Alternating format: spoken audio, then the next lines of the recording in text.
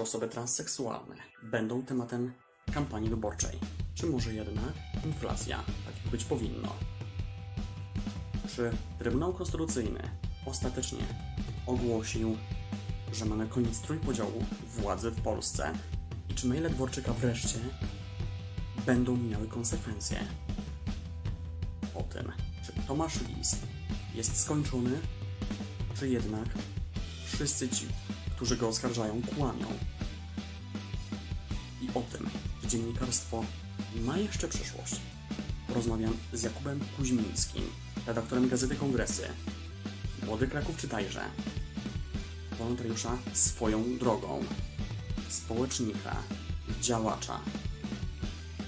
Porozmawiam o tym, jakie dziennikarstwo, jaka Polska, jaki ten rząd jest.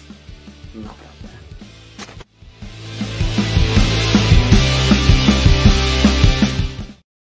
Witam Cię, Kubo, w programie Naprawdę. Cześć, dzień dobry Tobie, Szymonie i wszystkim oglądającym nasz program. Witam Cię jeszcze raz.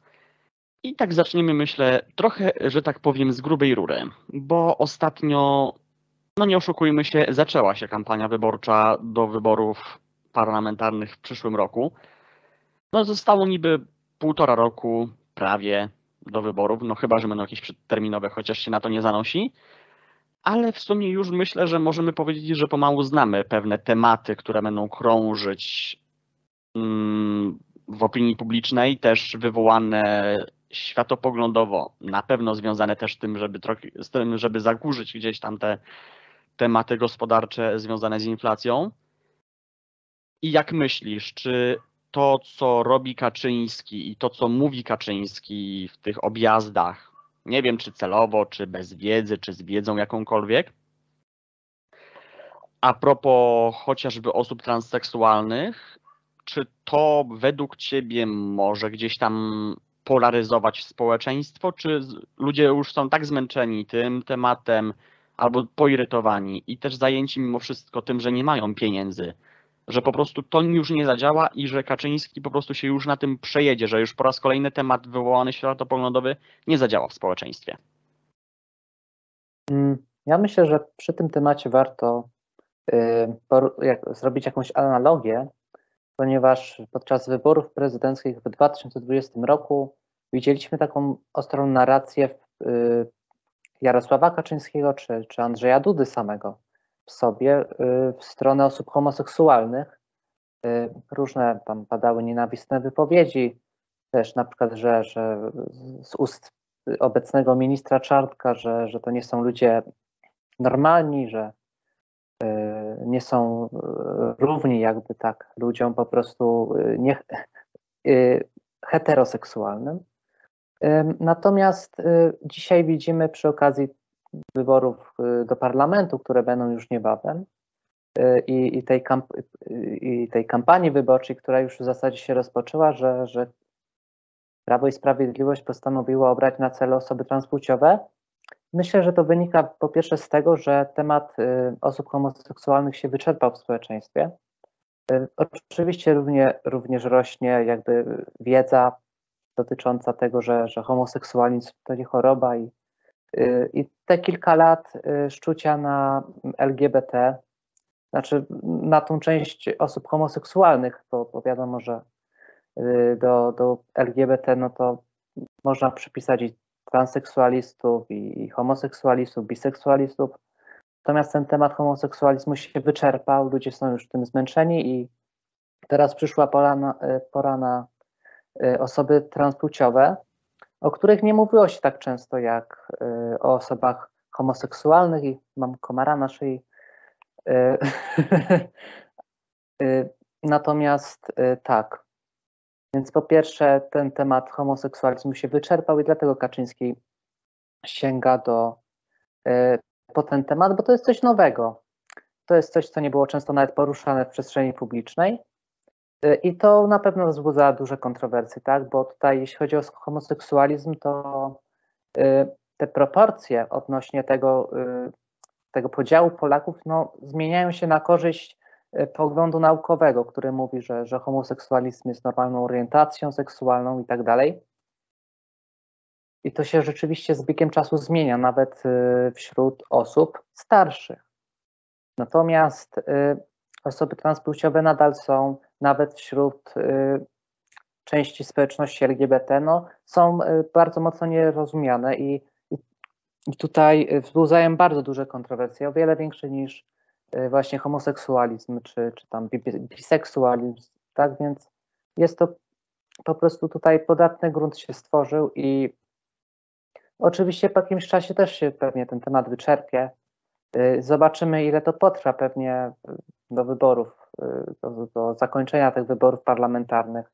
To ten temat ucichnie, przynajmniej w większej części, no bo raczej coś mi brzęczy, tak. Mm.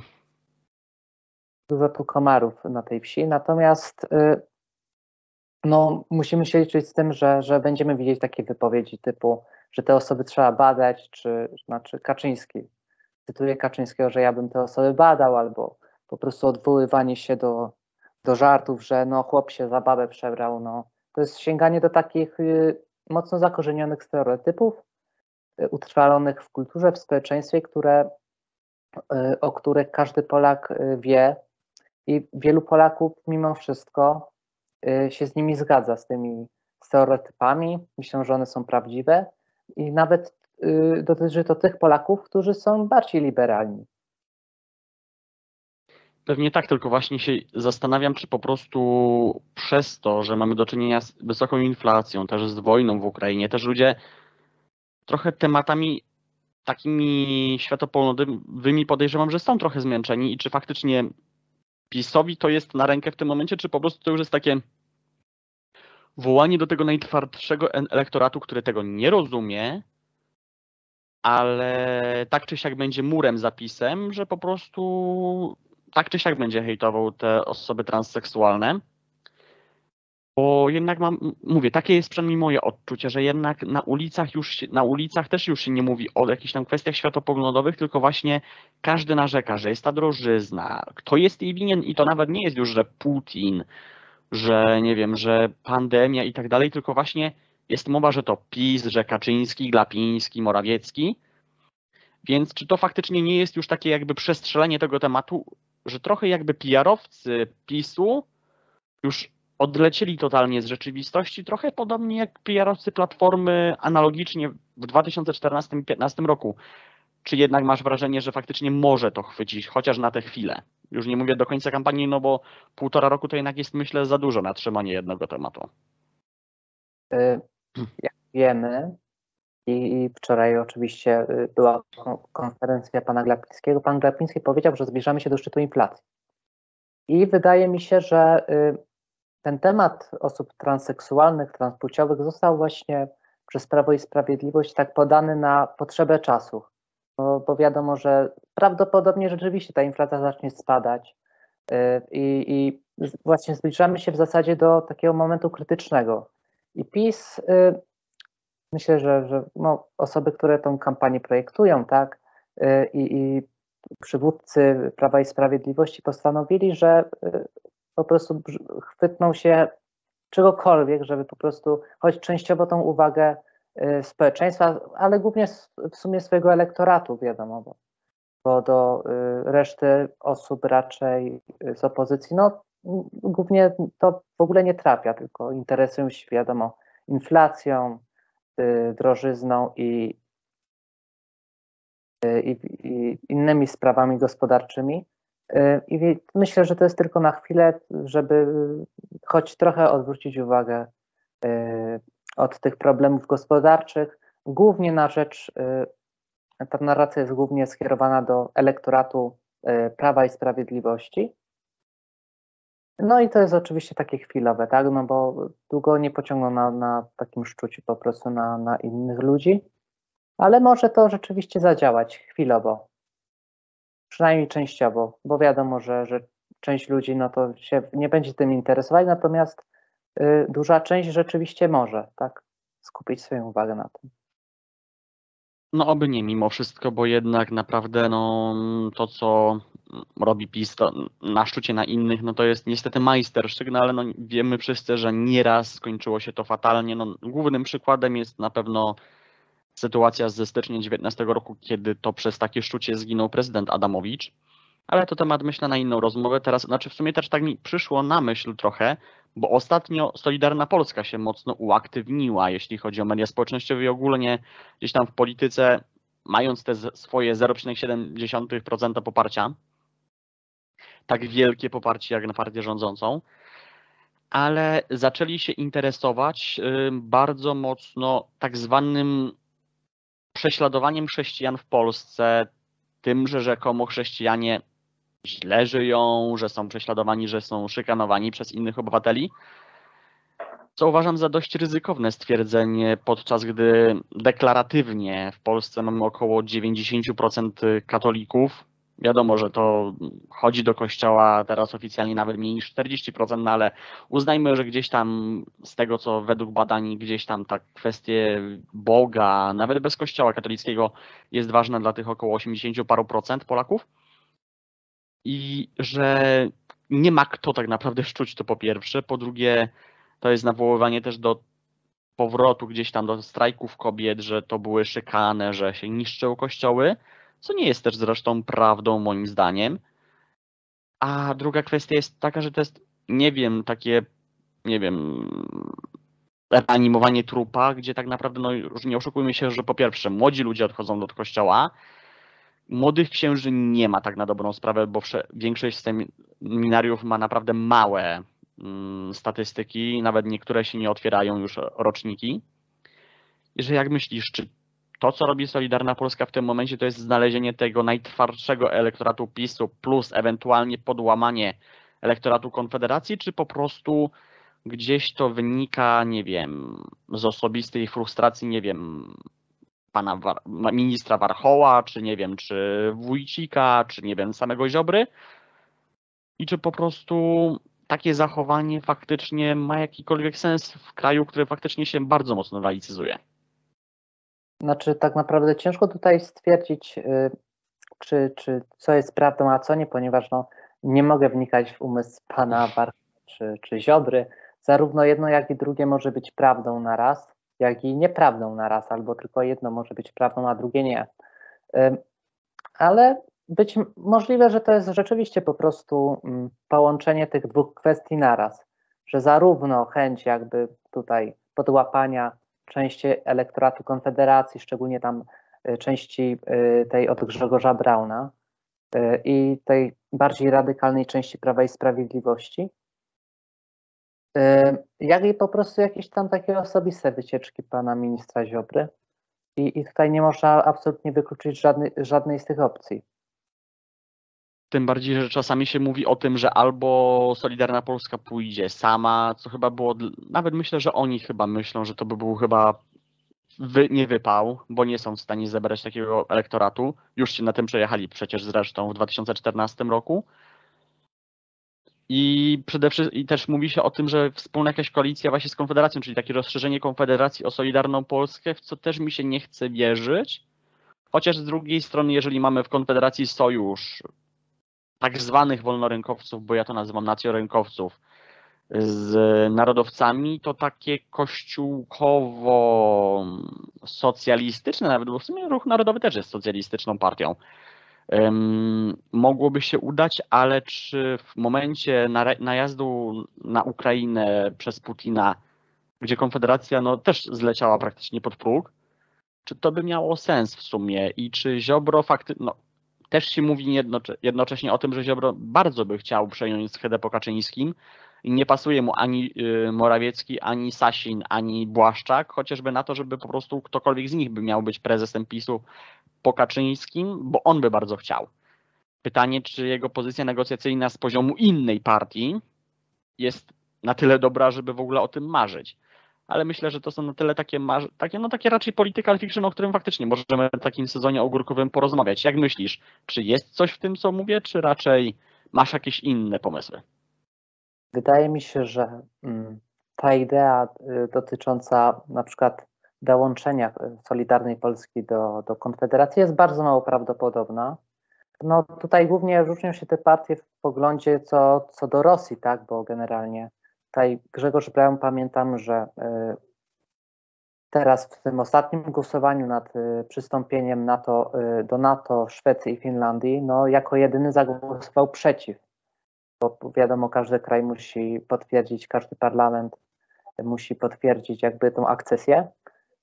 I tutaj, tutaj to myślę, że to jest główny czynnik, który dzieli te partie i co najwyżej jacyś pojedynczy politycy Solidarnej Polski mogą dołączyć do Konfederacji rzeczywiście, natomiast jako takiej koalicji to tutaj nie widzę, to jest bardzo mało prawdopodobne moim zdaniem, ale kto wie, no czasem y, rozum się myli, tak, i dzieją się rzeczy niesamowite, ale zobaczymy, y, co przyniesie czas. Myślę raczej, że tutaj ta koalicja z PiSem zostanie, y, będzie kontynuowana w tych najbliższych wyborach. A co do kwestii schedy, to myślę, no, że Zbigniew Ziobro rzeczywiście tutaj ma ambicje i mm, ja myślę, że y, ja słyszałem kiedyś, że, że Zbigniew Ziobro y, ma bogaty zasób różnych akt, różnych y, haczyków skierowanych właśnie przeciwko prominentnym politykom Prawa i Sprawiedliwości, które Tym Jarosława Kaczyńskiego zresztą. Tak, i, i tutaj rzeczywiście może istnieje szansa, że może ich po prostu szantażować żeby wymusić jakieś e, e, ustępstwa dla siebie, czy tam e, skłonić do jakichś korzystnych dla niego kroków, decyzji. Więc no tutaj zobaczymy. No. Ale w tej chwili ta walka będzie myślę ciężka, bo, bo tutaj pan Kaczyński powiedział, że z tego co pamiętam, że pan Błaszczyk ma zostać jego następcą. Nie powiedział tego wprost, ale ale y, no nasuwało się, tak? Kto tutaj ma rządzić. No myślę, że chyba u samego nawet Mateusza Morawieckiego trochę to musiało wzbudzić jakiś niepokój, bo pewnie liczył na to, że to on zostanie też był pupilkiem zresztą prezesa. Chociaż jak wszyscy mówią, nie, znaczy jak niektórzy mówią też w partii na początku mówiono o nim, że to jest jakiś kret albo zdrajca, więc wszystko może się zdarzyć w tej partii. Chociaż i tak będę myślę, nadal twierd nadal dawał takie twierdzenie, że mimo wszystko po śmierci Kaczyńskiego, czyli jednoczesnym zakończeniu rządów Kaczyńskiego w PiSie, bo raczej będzie rządził do śmierci, to po prostu myślę, że tak czy siak PiS się rozpadnie na kilka partii, bo oni nie będą w stanie się dogadać bez tego trzonu Kaczyńskiego, bo jednak on ich trzyma w ryzach, a nie ma drugiego takiego polityka w PiSie, który by to też potrafił, więc no zobaczymy. Teraz tak trochę gładko przejdziemy, myślę, do drugiego tematu dzisiejszej naszej rozmowy, czyli zostajemy w sumie teoretycznie przy naszej jaśnie, szanownie panującej partii, matce, że tak powiem, jakby to powiedziano w PRL-u. No nie bez powodu ta analogia. Um, otóż w ostatnim czasie nawinęły się kolejne maile Dworczyka. I tu nie będę mówił tak zwanym Michał Dworczyk, tak zwany Mateusz Morawiecki, tak zwana Julia P., no bo wszyscy nie oszukujmy się, dobrze wiemy, że to jest jednak na pewno, i to na pewno o nich chodzi, a to, kto wyciął te maile, no to już myślę, że jest mało ważne w kontekście tego, co naprawdę w tych mailach jest, chociaż tym też można się zainteresować, bo to to znaczy, że mamy fatalne służby w takim razie i fatalnie działają na polu cybernetyki, ale chodzi o ostatnie maile Dworczyka y, w korespondencji z Mateuszem Morawieckim, gdzie to Michał Dworczyk zapewniał y, premiera Morawieckiego o tym w 2019 roku, że trzy tematy po spotkaniu i bodajże po kolacji z Julią Przyłębską dogadali się co do trzech tematów, jeśli chodzi o też sędziego Muszyńskiego i tam paru innych że one zostaną w danym i danym terminie gdzieś tam przesunięte, bodajże o pół roku. Nie było wprost o wyrokach, chociaż w następnym mailu do sędzia, no, jeśli chodzi już o sędziego Muszyńskiego, tam już bezpośrednio praktycznie było mówione o tym, jakie mają zostać wydane wyroki i też miała być informacja, jakie to będą wyroki, żeby mm, premier wiedział o tym wcześniej, cały obóz rządzący. Donald Tusk o tym powiedział, że to jest definitywny koniec trójpodziału władzy. Czy ty byś był też, że tak powiem, tak radykalny, w cudzysłowie, w tych słowach, czy jednak powstrzymałbyś emocje Donalda Tuska z racji na to wiadomo, że jest liderem partii opozycyjnej, największej partii opozycyjnej? Hmm. Częściowo z panem Tuskiem można się zgodzić, y, bo rzeczywiście tutaj jest złamanie y, tego podziału trójpodziału władzy, który, który panuje generalnie w krajach Unii Europejskiej i w naszym kraju i w Konstytucji jest nawet zapisany. Już został stworzony w, w XVIII wieku y, przez y, Johna Locke'a bodajże. I Jean-Jacques Rousseau, z tego co wiem, z tego co pamiętam także. Y, Tak, tak. Y, I tutaj y, to były takie podstawowe zasady państwa demokratycznego, republiki. I tutaj widzimy, że Prawo i Sprawiedliwość od początku swoich rządów no, y, coraz bardziej łamie te zasady. Natomiast y, ja bym nie powiedział, że to jest definitywny koniec, ponieważ y, oczywiście mieliśmy do czynienia z ustawami, które miały podporządkować y, trzecią władzę, czyli władzę sądowniczą, jakby y, władzy pierwszej i drugiej, a oczywiście wiemy, że wiemy, że y, zgodnie z trójpodziałem władzy to władza sądownicza ma nadzorować pierwszą i drugą władzę wykonawczą i ustawodawczą i ma być od nich całkowicie niezależna. Y, Natomiast y, tutaj y, trzeba powiedzieć, że sądy są nadal częściowo przynajmniej niezależne. W dużej części są wciąż niezależne. Widzimy to po różnych wyrokach. Chociażby TVP musi przepro- przeprosić Stanisława Gawłowskiego. Są wyroki jeszcze wciąż w większości przypadków y, ustalane w sposób obiektywny i zgodny z prawem, a nie y, faworyzując tutaj partię rządzącą czy, czy telewizję publiczną. Więc częściowo się z panem Tuskiem zgadzam, natomiast tutaj że, y, myślę, że za daleko poszedł w tych słowach. No można by rzec, że są zgodne z prawem i sprawiedliwością, nomen omen, te wyroki jeszcze. Także no w sumie no też tak myślę, chociaż no można zrozumieć jakieś intencje przewodniczącego Tuska, co do tego, no bo wiadomo, jest przewodniczącym największej partii opozycyjnej, więc też wiadomo, że no siłą rzeczy musi gdzieś tam podkoloryzowywać to, co też jego elektorat będzie chciał usłyszeć, no bo wiadomo, że no ta polaryzacja ogromna jest i że od tego nie uciekniemy na pewno. I taka jest trochę moja refleksja, nie wiem, czy się ze mną zgodzisz, że po prostu to do jakiej, mimo wszystko, tak jak mówisz, że te sądy są jednak jeszcze gdzieś tam demokratyczne, chociaż Trybunał Konstytucyjny już jest w całości niedemokratyczny, a to też jest ważne w kontekście też na pewno ustawodawstwa i prawa dla obywateli, to że naprawdę ściągnięcie rangi prezesa Trybunału Konstytucyjnego, czyli tak naprawdę no, jednego z trzech najważniejszych sędziów w tym kraju, do roli kucharki prezesa największej par- znaczy partii rządzącej, to moim zdaniem jest naprawdę haniebne, jeśli chodzi o demokrację i nawet myślę, że w republikach bananowych, tych naprawdę, naprawdę takich niedemokratycznych, takich marionetkowych, gdzie tam rządzą naprawdę no jakieś, no plemion, bym nawet mógł powiedzieć jakieś plemiona afrykańskie, mm, już nawet nie państwowe, tylko po prostu no już tak potocznie mówiąc, że po prostu no takie, gdzie ta demokracja nie jest rozwinięta w ogóle i tam rządzą plemiona, to myślę, że nawet tam chyba nikomu by nie przyszło na myśl, żeby szefowa Trybunału Sądu Konstytucyjnego, najważniejszego sądu konstytucyjnego w kraju, była postrzegana przez prezesa największej partii jako odkrycie towarzyskie, a też są dowody na to, że faktycznie no, gotowała prezesowi, więc no nie wiem, czy to już jest po prostu groteska, czy to jest naprawdę tak żałosne, czy no tak smutne zarazem.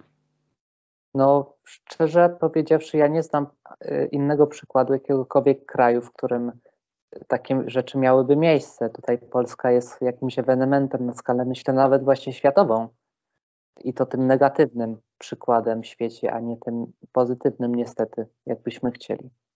No więc właśnie, tym bardziej, że no, nie oszukujmy się, no, jeżeli na takim stanowisku zasiada magister, gdzie nawet prezydent jest doktorem prawa, no już pomijam doktor, doktoraty z prawa Jarosława Kaczyńskiego, no bo on ewidentnie chyba z niego nigdy nie skorzystał, ale mniejsza o to, ale po prostu jeżeli taki, ktoś taki jak magister prawa jest prezesem Trybunału Konstytucyjnego, gdzie moim zdaniem no mimo wszystko powinien być to profesor, no to w jakim świecie my żyjemy po prostu i aż powiem Ci szczerze, że się zastanawiam, jakim cudem mogliśmy do tego dopuścić. Bo to jest naprawdę przerażające w XXI wieku, w trzeciej dekadzie XXI wieku, gdzie się wydawało już, że od 1989 roku naprawdę te demokracje mamy w tym kraju. Ja myślę tutaj kwestia, myślę, słabego rozwinięcia społeczeństwa obywatelskiego. Duża część ludzi w ogóle nie wie, co to jest nawet Trybunał Konstytucyjny, po prostu nie wie, że takie coś istnieje, albo pierwszy raz usłyszało dopiero o tym od, niedawna yy, i nie interesuje się za bardzo w ogóle sprawą yy, ustawodawstwa w Polsce i, i tych nowych standardów, jakie, jakie wprowadziło Prawo i Sprawiedliwość, bo, bo we wcześniejszych latach takie rzeczy się nie działy. Mimo, że, że wiele platformie tutaj ludzie zarzucają, to rzeczywiście uważam, że te standardy na najwyższych szczeblach władzy były o wiele wyższe, zbliżone do tych zachodnioeuropejskich. Kiedy Sławomir Nowak była afera o, o zegarek, on został po prostu zdemisjonowany. Dzisiaj pan Sasin marnuje 70 milionów złotych i jest wicepremierem. No, o czymś to świadczy. No więc właśnie, a tu też jest taka moja teoria, że po prostu ludzie nie, też w większości, no patrząc też na wszelkie dane, jeśli chodzi o ekonomię i o wiedzę ekonomiczną, a raczej jej brak wśród Polaków, to chyba gdzieś faktycznie się sprawdza to twierdzenie, że po prostu Polacy nie potrafią czytać dalej liczb, tylko po prostu słyszą 70, albo ewentualnie rozumieją percepcję tysięcy, ale dla nich percepcja milionów i miliardów to już jest za dużo i oni słyszą tylko ten początek. 3 miliardy, czyli 3, 70 milionów, czyli 70, a gdy słyszą, nie wiem, kolacja Sikorskiego za 1400, to już ich oburza, a to już nie, bo po prostu nie są w stanie percepcyjnie gdzieś tam pojąć tych pieniędzy, ogromu tych pieniędzy, więc to po prostu z siebie wyrzucają. No i to PiS niestety wie przez ich badania PR-owe, no i niestety z tego korzysta. Znaczy, ja myślę, że to nie jest cecha wyłącznie Polaków. To jest w ogóle, myślę, taka ogólnoludzka cecha, że y, jakby małe kwoty, z którymi jakby przeciętny człowiek ma na co dzień do czynienia, są lepiej wyobrażalne niż takie miliony złotych i to jest w ogóle powszechne dla ludzi, tak? Nawet dla mnie czy, czy dla ciebie, nawet możemy z tego sobie sprawy nie zdawać.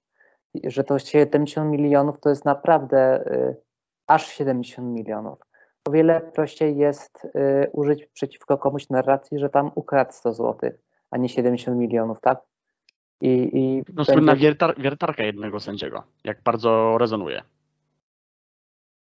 Tak, oczywiście. I to, to jest po prostu łatwo wyobrażalne. I tutaj nie ma się co dziwić, że, że yy, nawet takie mniejsze afery, jeśli chodzi o kwoty, tam, czy, czy wagę jakiejś sprawy, Y, są y, o wiele bardziej groźne niż y, te afery trudno wyobrażalne jakieś, bo te liczby są wyimaginowane jakby dla przeciętnego człowieka. Ciężko mu nawet to sobie wyobrazić, nie miał nigdy do czynienia, nie może sobie tego zwizualizować. A jeśli nie może tego zwizualizować, no to, no to po prostu nie będzie się tym za bardzo nawet interesował, tak? No więc właśnie i to jest też to. A druga kwestia jest taka, że myślę, że Polacy, ale myślę, że nie tylko, co też pokazał i proces Amber Heard z Johnem Deppem, czy wcześniej rozwód yy, Brada Pitta i Angeliny Jolie, że ludzie lubią takie dosyć sensacyjne tematy. I w sumie o taki trochę temat z pogranicze trochę myślę, że takiej sensacji, taniej sensacji, chciałbym, znaczy ty chciałeś w sumie poruszyć i myślę, że to będzie dobry moment też, jako że jesteśmy obydwoje dziennikarzami, też redaktorami gdzieś tam, no ty w gazetach kongresy, ja w swoich mediach, bo no od paru ładnych, myślę już tygodni, gdzieś tam są informacje, jakoby Tomasz Lis został zwolniony z Newsweeka dlatego, że było podejrzenie u niego, znaczy nawet było potwierdzenie gdzieś tam w wewnętrznej gdzieś tam komisji Axela Springera, że mobbingował pracowników, że się wobec nich źle zachowywał. I jak myślisz, czy to, pomijając oczywiście fakt dorobku Tomasza Lisa, no bo jest on, nie oszukujmy się, ogromny i myślę, że obok świętej pamięci Kamila Durczoka, czy Piotra Kraśki, czy właśnie, czy wcześniej Andrzeja Turskiego świętej pamięci także, że możemy spokojnie go nazwać naprawdę jednym z najwybitniejszych dziennikarzy XXI wieku.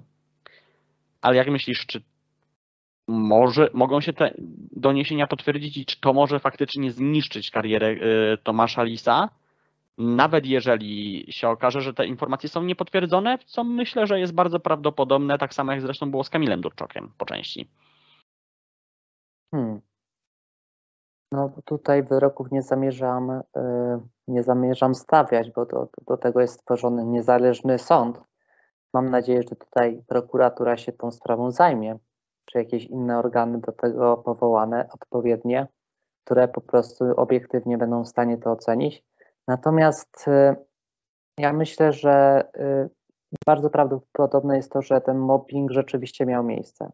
Tutaj po pierwsze Szymon Jadczak opierał się na relacji kilkudziesięciu pracowników Newsweeka y, i wiemy też, że Szymon Jadczak pisząc wcześniejsze artykuły y, pokazał swoją wiarygodność, bo choć, chociażby o tym DPS-ie w Jordanowie y, to wszystko się potwierdziło, nawet teraz ministerstwo zleca kontrolę tych DPS-ów prowadzonych przez, przez zakonnice, tak?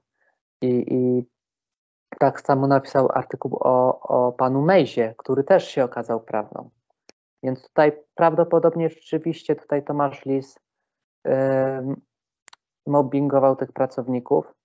Y, I też ja myślę, że to nie jest raczej zaskoczeniem dla większości ludzi, bo Tomasz Lis y, w, przeszło, w przeszłości no już, już pokazywał się tak, jako taki człowiek chociażby na Twitterze no, no jest dosyć aktywny, tak, i, i generalnie y, dos, ma dosyć ostre słownictwo i też taki charakter, myślę. Y, tutaj nie jest to dla mnie i dla większości ludzi zapewne zdziwieniem, że wystosował takie praktyki, mm, ale też trzeba popatrzeć na drugą stronę medalu, że nie chcę tutaj absolutnie bronić Tomasza Lisa. Oczywiście, no, prawdopodobnie moim zdaniem y, do tego mobbingu dochodziło, no, ale też trzeba wspomnieć o tym, że no, praca dziennikarska mm, to jest, y, szczególnie w takiej redakcji jak Newsweek, no, to jest ogromny stres, napięcie i też y, pewnie mu się zdarzało po prostu nie panować nad sobą, czy ten stres po prostu przerastał go.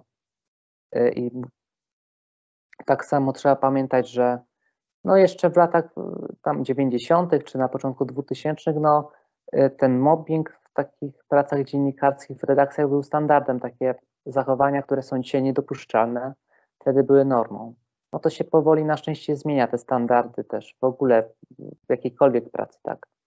Y, ale też trzeba patrzeć z punktu widzenia po prostu historii na, na to wszystko ale fakt, że y, Tomasz Lis y, pomimo upływu czasu no, nie zmienił swojego zachowania, y, no to świadczy tutaj negatywnie o nim na pewno.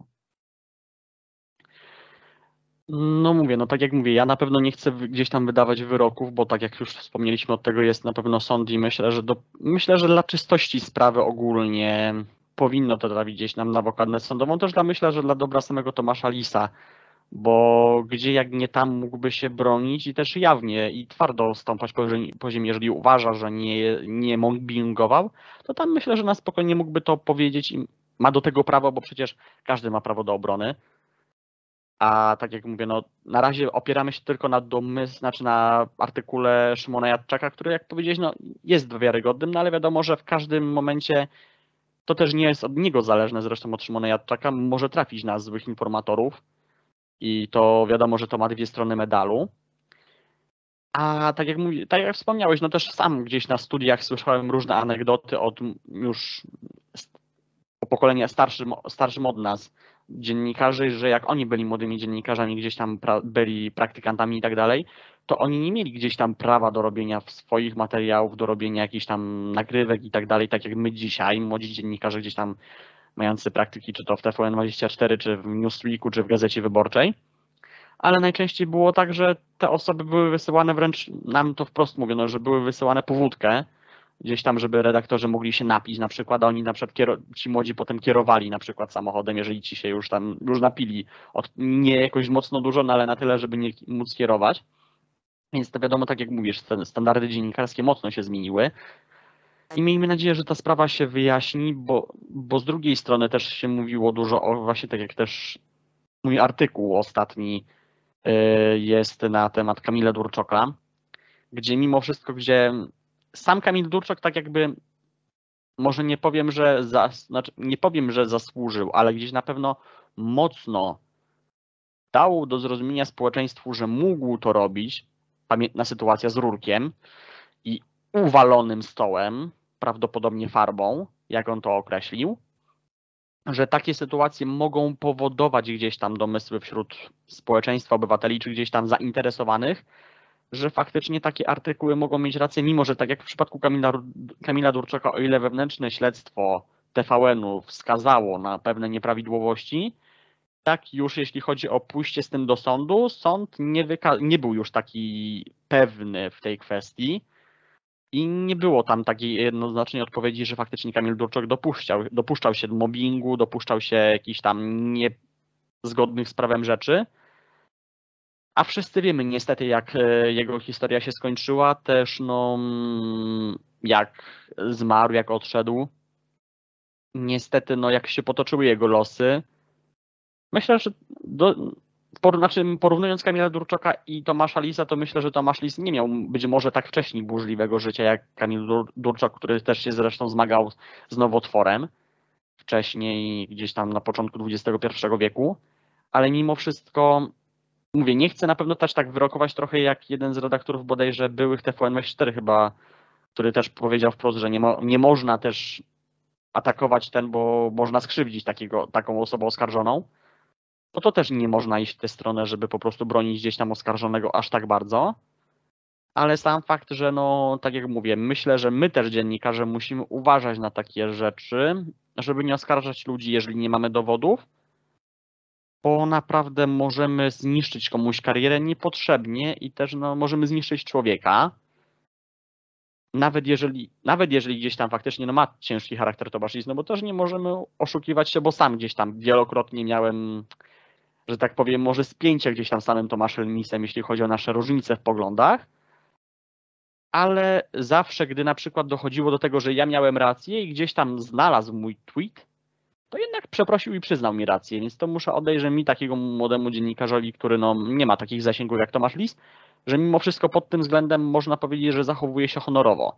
To jak traktuje pracowników, to myślę, że sami pracownicy muszą powiedzieć już wprost. Myślę, że też pod nazwiskiem, mimo że wiadomo, mogą się bać, jeżeli faktycznie byli mobbingowani. No bo wiadomo, strach i też ostracyzm wśród środowiska dziennikarskiego może być ale jednak myślę, że naprawdę sąd tu powinien być naprawdę mocno zaangażowany i myślę, myślę że sam Tomasz Lis, jeżeli chce wyjaśnienia sprawy, myślę, że sam powinien gdzieś tam iść tą drogą. No tutaj się w pełni zgadzam. No. Y, dobrze, że, że istnieje coś takiego jak sąd, tak? I też trójpodział władzy. I miejmy nadzieję, że obiektywny sąd po prostu oceni tą całą sytuację. A tak właśnie, bo ty chciałeś też gdzieś tam nawiązać do tej sprawy sam. Mm, z Twojej perspektywy właśnie, jak to wygląda? Co chciałeś też sam powiedzieć w sumie w tej sprawie? Czy to już wyczerpaliśmy w sumie? W sprawie Tomasza Lisa?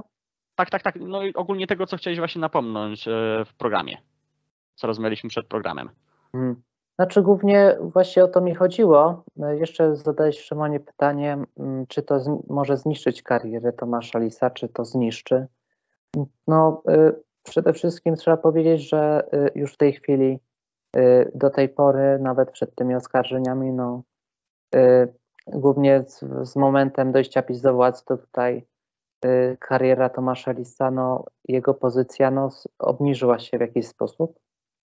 No już jego programów nie zobaczymy w TVP. Mm, I też nawet teraz ta sprawa jest chyba tylko wisienką na torcie, tak? w, w całym jego po prostu takiej ocenie, która się zmienia przez lata wśród, wśród opinii publicznej. I myślę, że jakiś swoich zwolenników będzie miał, nawet jeśli okaże się po wyroku sądu, że, że rzeczywiście był winny tego mobbingowania. Bo nawet teraz widzimy jakiegoś tweeta tam jego zwolenników, czy tam członków nawet Platformy Obywatelskiej, czy tam młodzieżówki, gdzie po prostu y, aż za bardzo po prostu tego Tomasza Lisa bronili, tak? Tak jakby, jakby był to jakiś święty. Y, a myślę, że tutaj y, nawet jeśli jest jakimś takim autorytetem dziennikarskim, jeśli chodzi o jakość tworzonych programów, to każdy autorytet na, należy podważać. I nikt nie jest nieomylny, nikt nie jest święty ani idealny. To się źle skończy, jeśli tak idealizujemy człowieka. Tak jest chociażby z przykładem Jana Pawła II, tak samo jest z przykładem mm, no, nawet papieża, tak? I tak samo jest właśnie z, z niektórymi dziennikarzami, politykami, y, że, że jakby ich wyznawcy, nazwijmy to rzeczywiście wyznawcami, tak? Y, oni w pewnym momencie y, przejrzą na oczy i myślę, że ta sytuacja może im dać wiele do zrozumienia. Myślę, że też, bo no nie oszukujmy się dla samej opozycji, osoby, które tak mocno popierają, czy to PiS, czy pewnych dziennikarzy, przepraszam, Platformę, czy to pewnych dziennikarzy, e, którzy gdzieś tam sympatyzują z opozycją. Nie chcę powiedzieć, że popierają wprost opozycję, ale sympatyzują z opozycją i też są antypisem to jednak y, no nie możemy popadać w taką skrajność, że mam czasami faktycznie wrażenie, że niektórzy zwolennicy opozycji tak jakby chcieli takiego samego państwa, jakie serwuje nam w tym momencie PiS, tylko że właśnie pod rządami Platformy Obywatelskiej i żeby właśnie Donald Tusk rządził w stylu Jarosława Kaczyńskiego, tylko się oficjalnie do tego nie chcą przyznać, ale podobałoby im się stosowanie metod właśnie przeciwko PiSowi na, y, i Donalda Tuska przeciwko Kaczyńskiemu czy całemu PiSowi.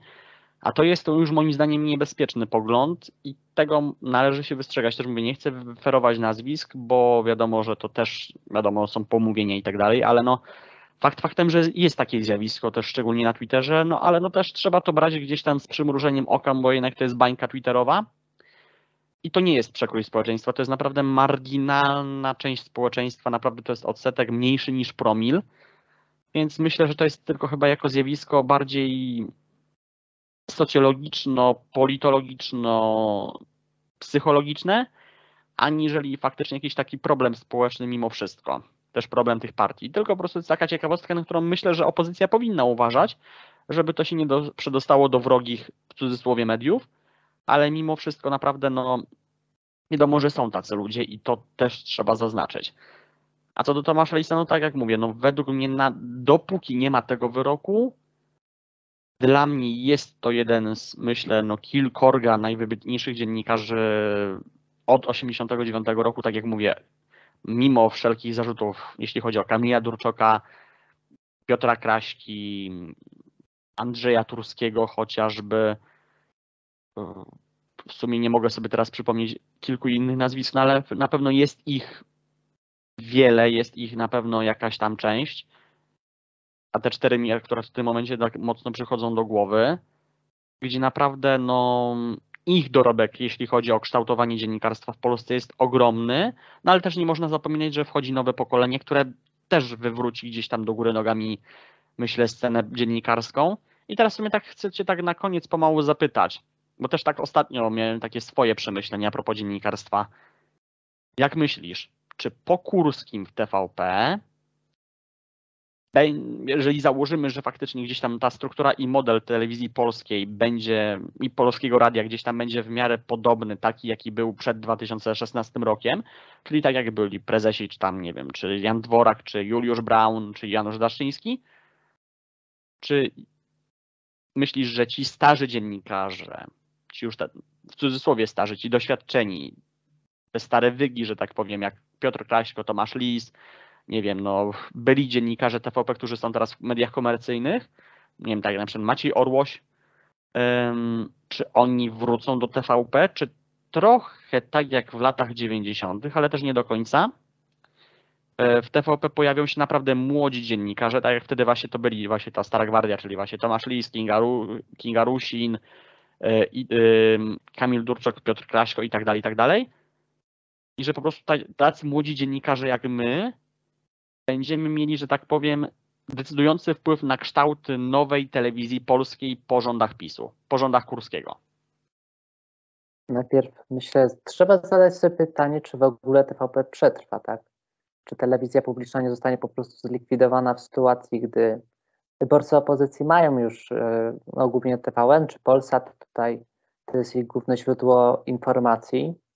E, natomiast wyborcy PiS e, nie będą już raczej tak chętni do oglądania TVP w sytuacji, gdy gdy zostanie e, telewizja publiczna przyjęta przez nową ekipę rządzącą. E, wiadomo też, wiele ludzi po prostu chce e, rzeczywiście zlikwidowania telewizji publicznej, ponieważ no, na to idą ogromne środki. Wiemy, że Andrzej Duda przekazał 2 miliardy na telewizję publiczną i to się odbiło szerokim echem. I na hasło TVP mnóstwo osób od razu ma przed oczami 2 miliardy. Więc y, naj, najchętniej dla nich byłoby po prostu zlikwidować tę telewizję publiczną i to jest bardzo prawdopodobne, myślę, jeśli opozycja dojdzie do władzy. Więc najpierw zadaj, trzeba się zastanowić, czy, czy w ogóle ta telewizja przetrwa. Znaczy, no wiadomo, no to też jest gdzieś tam problem, myślę, że chyba tylko, znaczy nie powiemy, że może Węgier, bo na Węgrzech jest zupełnie inna sytuacja, bo tam praktycznie wszystkie media są przejęte przez y, Wiktora Orbana i przez jego ekipę.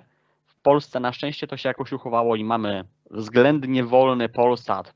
Chociaż nie powiem Polsat News, no bo Polsat News jest mocno skręcony gdzieś tam w prawo, ale gdzieś tam, wiadomo, w Polsacie pojawiają się treści kabaretowe, które mocno uderzają w partię rządzącą, więc uznajmy, że gdzieś tam ten pluralizm polityczny jest zachowany mimo wszystko, mimo że to jest rozdział na, na rozrywkę i na informacje.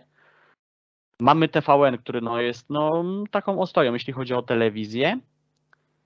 No i mamy TVP mocno upolitycznioną i gdzieś tam jest ta wielka czwórka tak zwana, czyli jedynka, dwójka Polsat TVN. Ale wiadomo, że też coraz mniej ludzi ogląda telewizję, więc gdzieś tam przechodzi do internetu, więc to też może pomóc gdzieś tam tym, że nikt raczej po TVP płakać nie będzie.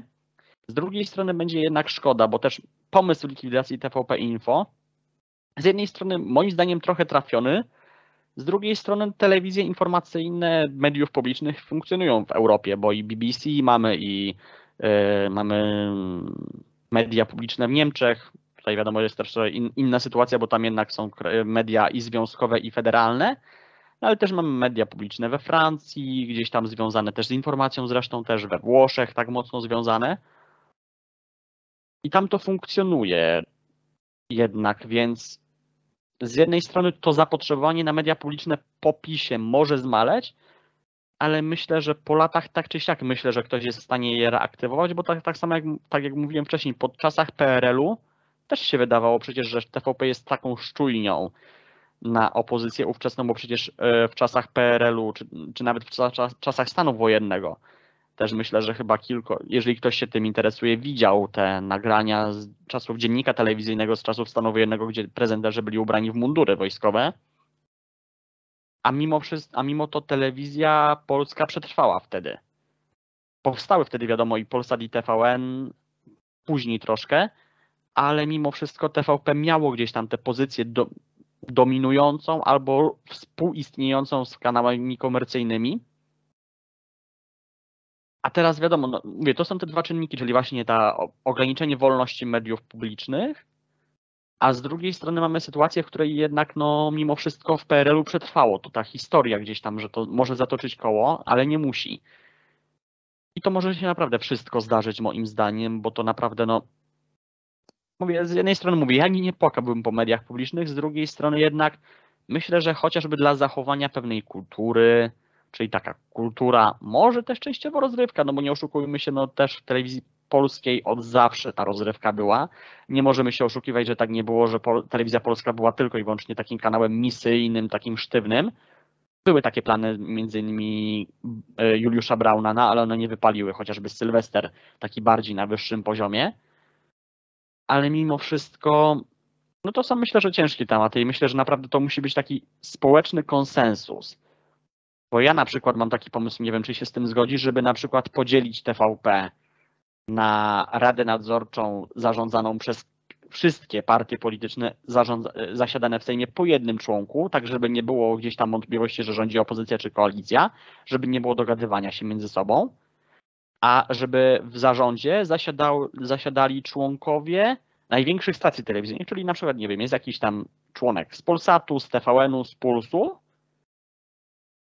i żeby po prostu tak to funkcjonowało, czyli trochę, trochę komercyjnie właśnie w stronę właśnie mediów komercyjnych, żeby się troszkę może zrzucali na, te, na, na tę telewizję państwową dla misji, no i częściowo partyjnie, no wiadomo, bo to jest spółka Skarbu Państwa mimo wszystko.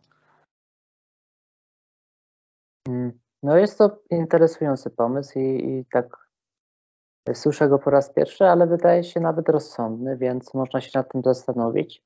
I jeszcze odnosząc się do, do tematu, mm, to ja osobiście nie jestem, jestem za pozostawieniem tele, telewizji publicznej, czy to właśnie chociażby ze względu na taką kulturę, jaka y, się już ukształtowała i to jest taka tradycja i, i no tutaj te największe państwa europejskie i praktycznie wszystkie państwa europejskie mają tą publiczną telewizję.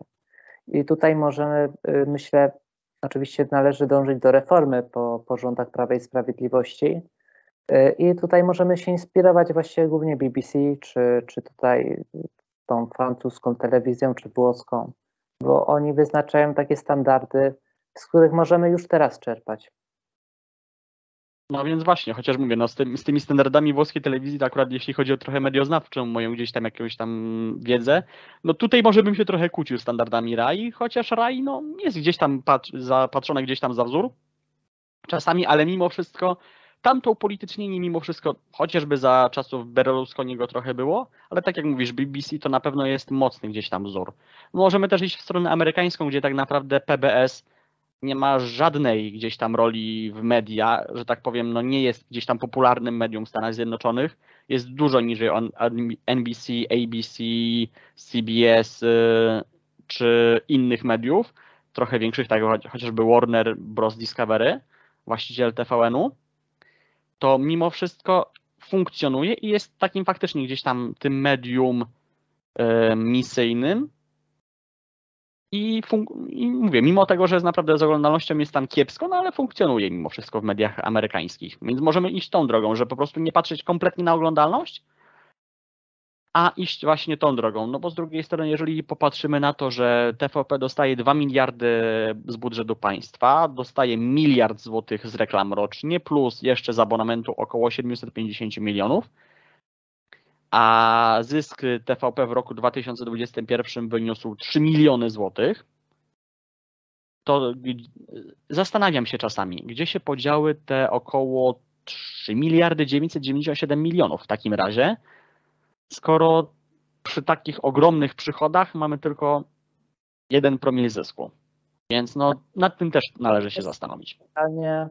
Jeśli chodzi o tam różne przedsiębiorstwa publiczne, tak, Skarbu Państwa, PKP, czy, czy właśnie telewizja publiczna, ja myślę, że tutaj opłacalność taka ekonomiczna ściśle, ona ma drugorzędne, drugorzędne znaczenie, tak. Myślę tutaj, że nawet jeśli by PKP przynosiło straty, a ludzie mogliby podróżować yy, po prostu na przykład z tych mniejszych miejscowości po prostu komfortowo i yy, mogliby po prostu komunikować się ze światem zewnętrznym, to warto do tego dopłacać, tak, do interesu. Mimo wszystko. I to jest, yy, bo tam, gdzie, gdzie po prostu nie opłaca się prywatnemu przedsiębiorcy zainwestować, tam państwo w wielu przypadkach może zdziałać cuda, i może bardzo pozytywnie to wpłynąć na, na rozwój gospodarczy, myślę, i, i też po prostu na dobrobyt ludzi. I tak samo jest w przypadku telewizji publicznej. No, myślę, że y, nawet to istnienie telewizji publicznej w, w kraju generalnie jest y, po pierwsze ważne dla samego istnienia państwa. Y, I, i ważna też jest oczywiście ta misja, bo generalnie TVN czy Polsat no nie zajmują się jak, jakimś tam wysokim poziomem y, programami. Ja nie mówię nawet o informacjach, tak, ale im nie zależy na misji, tak, tylko po prostu na, na jak największych przychodach. A jak największe przychody nie zawsze są zbieżne z interesem państwa czy, czy społeczeństwa jako ogółu. Więc tutaj jakiś taki publiczny nadawca powinien jak najbardziej istnieć i to jest jak najbardziej w interesie państwa. Nawet jeśli będziemy musieli do tego dopłacać. Mhm. Chociaż myślę, że no mimo wszystko no tak duże pieniądze myślę, że aż chyba nie są potrzebne. No, znaczy tak... nie, nie tak duże, nie miałem tego na myśli, tak? Mhm. Natomiast y, mi chodził po prostu generalnie o kwestię opłacalności. Mhm. I tak na koniec tak. Mhm. To w, takiej, w takiej czystej gotówce, moim zdaniem. O, rozumiem. No w sumie jest coś w tym, co mówisz i myślę, że warto jest też to przemyśleć. I tak na koniec y, chciałbym Cię prosić o takie ostatnie słowa, nie wiem, otuchy, też takiego podsumowania naszej rozmowy. Co byś tak chciał powiedzieć naszym widzom i słuchaczom? Tak na koniec trochę, też wiadomo w okresie wakacyjnym, czy trochę luźniej, czy faktycznie tak bardziej refleksyjnie. Antena jest, że tak powiem, na tych kilka minut Twoja, czy tam na kilkadziesiąt sekund. Bardzo dziękuję. Ja myślę, że hmm, przede wszystkim trzeba powiedzieć, że y, poglądy Polaków generalnie się zmieniają ku tym bardziej liberalnym, takim europejskim. Widzimy to chociażby szczególnie wśród młodzieży, tak? Y, I tutaj, jeśli chodzi o te obecne standardy, y, które panują w naszym państwie, to, to jest tylko taki jakiś zły etap kilkuletni, który się, miejmy nadzieję, niedługo skończy. To jest bardzo prawdopodobne z uwagi na to, że y, tutaj poglądy nawet wśród starszego pokolenia się mimo wszystko zmieniają, tak?